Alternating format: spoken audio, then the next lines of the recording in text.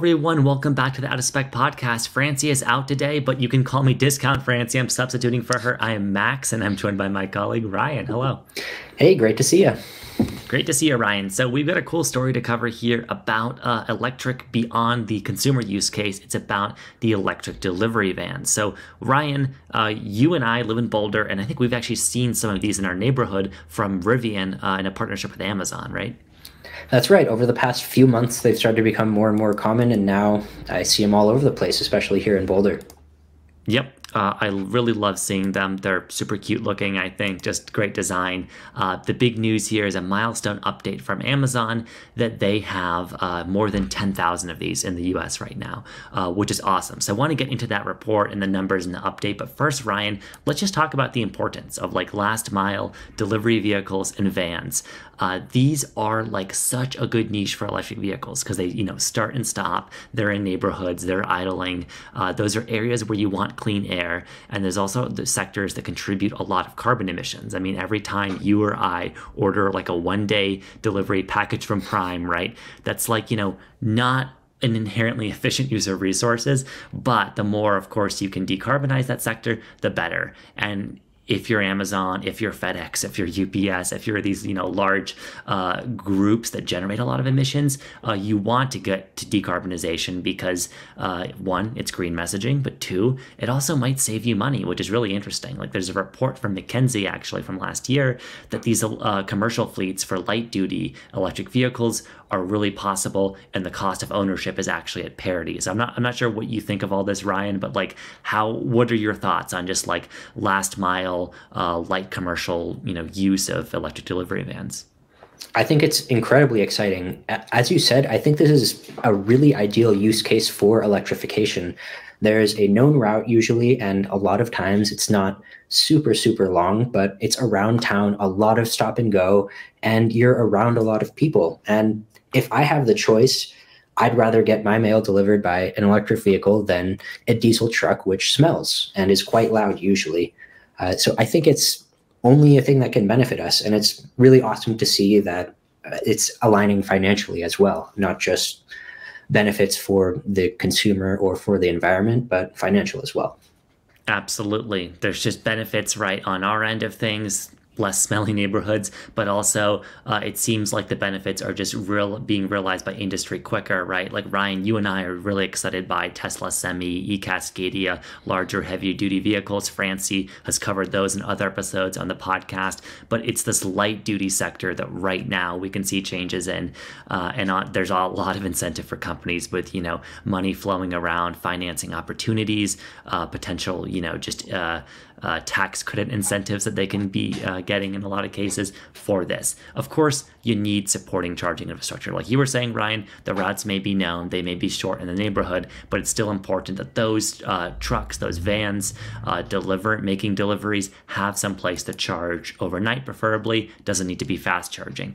Amazon has said that right with these 10,000 uh, EDVs that they've delivered with you know with Rivian, uh, that they have at this point 12,000 chargers in the U.S. across more than 100 cities.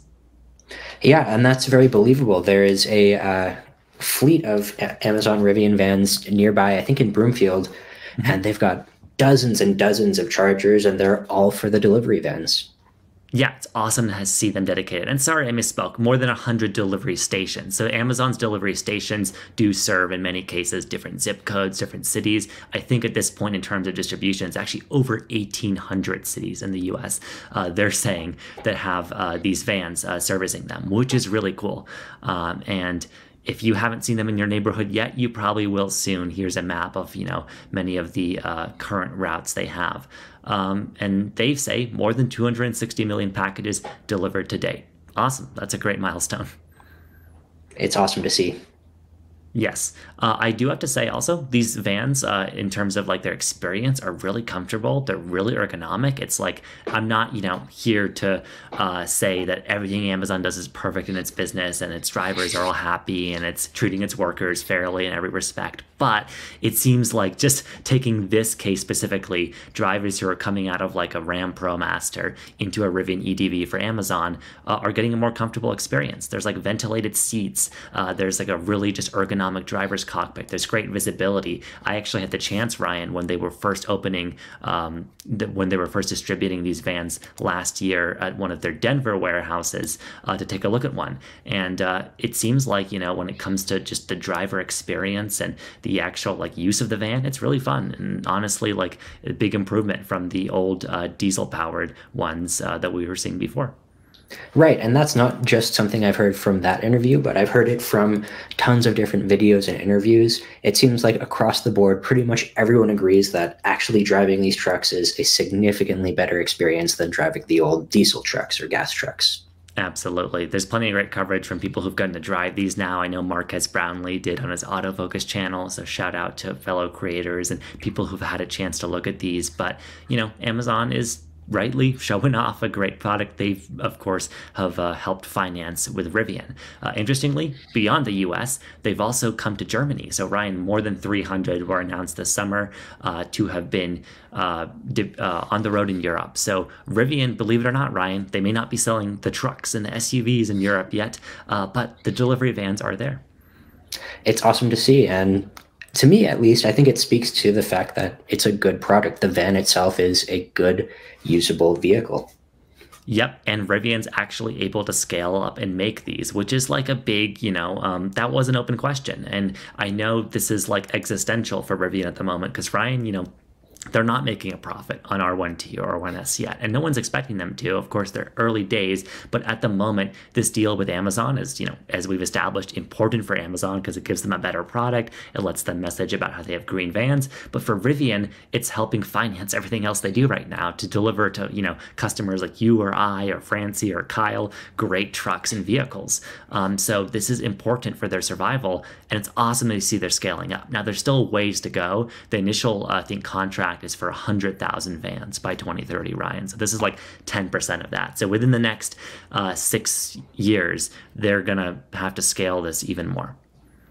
It's it'll be really exciting to see, and th- there's a long way to go, but I don't think it's impossible. I think that they they might be able to do it. Yeah, I like this milestone suggests they might actually just pull it off. Uh, and then Ryan, beyond Rivian, there's lots of other buzz in the uh, EV van space. Uh, we've heard news uh, earlier this month that in Europe, Renault is forming an alliance with Volvo Group. Volvo Group not being Volvo cars, but like the Volvo, you know, industry uh, company. They're separate from the cars, uh, but basically, right, who are known for making trucks and all kinds of commercial vehicles. They're going to develop delivery vans on an 800 volt platform. So that presumably means very rapid DC charging capability, which could mean you could serve longer routes in the same uh, kind of day. Uh, they're going to be very flexible, of course, skateboard platform as we're used to seeing with EVs. But um, yeah, they're hoping to have these uh, being delivered by 2026. I've said it before and I'll say it again. Competition is something that's great. It'll only help us. Yes uh, competition abroad, like lots of European companies getting into this, and also Ryan, just competition in general in the space for those of us in the U.S. Uh, it's not just the startups who are making these. Uh, we've got uh, General Motors, very established automaker, with BrightDrop, who has delivered 4,000 of them to Ryder, which is a big, you know, kind of a fleet company, logistics, transport. Uh, they uh, have a lot of rental vehicles, and they've got 4,000 in their rental fleet now that are fully electric. They're the Zevo 600 by BrightDrop. I believe Kyle took a look at uh, one of these. He actually got to drive one of these vans. Um, that's super cool. It's awesome to see. Yeah. Now, you know, Ryan, the we we can talk about this in other topics too but like gm's production of these at the moment seems to be limited just because of their batteries. So 4000 is a good milestone. I'm really kind of cautiously optimistic about them scaling this up further, uh, but it's cool. Also, Ryan, I don't know if you knew, but in Loveland, uh, we have Lightning eMotors, which is this awesome company that converts uh, existing van platforms to electric. Uh, and they're working on their own bespoke electric architectures too. Uh, but they announced this summer that they had surpassed 5 million miles on North American roads. That's a great milestone. I'm, I'm really happy to see that. And great to see there's some local companies as well. Yeah, love local, and also the fact that there's like school buses and these shuttles. You know, still like I guess what you would consider light duty. I think they're in like the class two, class three zone. Um, but uh, you know, I think as we see this scaled up to larger school buses and stuff, it'll be exciting as well. But already right now, this makes so much sense. Like you said at the beginning, right? This means like less pollution, cleaner neighborhoods. Um, it's a really e- easy and like visible sector for us to see. I also wanted to give a shout out to the Ford e-Transit. I've seen in Boulder. Uh, like I've seen like power companies. Uh, I've seen utilities using them uh, as their like kind of you know like contractor shuttling thing. Um, these are cool. They're not the most like bleeding edge or state of the art. They are uh, kind of converted from an existing gas platform, but Ford's got the e-transit. So basically, my point being that like beyond Rivian EDV, Ryan, last mile deliveries, vans that are making this possible are just springing up. There's more competition coming, which is hopefully going to drive prices down. Um, I think the big news is going to be these deals like Rivian and Amazon has been a big deal. FedEx uh, is deal with BrightDrop, whom I mentioned uh, with Ryder, right? It's like if you're one of these startups or if you're a company company making electric delivery vans, you want to be signing a partnership with UPS. You want to be signing partnerships with these kinds of customers uh, because there's so many deliveries, there's so many last mile trips happening, and uh, Ryan, I want as much of those as possible to be electric very soon. Certainly, and I think these uh, partnerships and deals are going to help with that. Uh, we're we're starting to see some ramping up. We're hitting some good milestones already, and I I think the only place that this can go is forward with more and more electric delivery vehicles. Yep, I agree with you. But let us know in the comments, um, you know, in this podcast or in the YouTube video if you're watching that.